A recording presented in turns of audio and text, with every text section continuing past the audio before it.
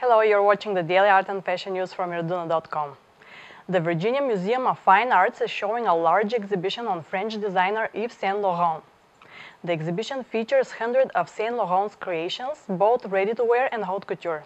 Saint Laurent is credited to have introduced new types of dress into women's fashion. These include a pantsuit and a tuxedo for women which he designed while working as chief designer for Christian Dior.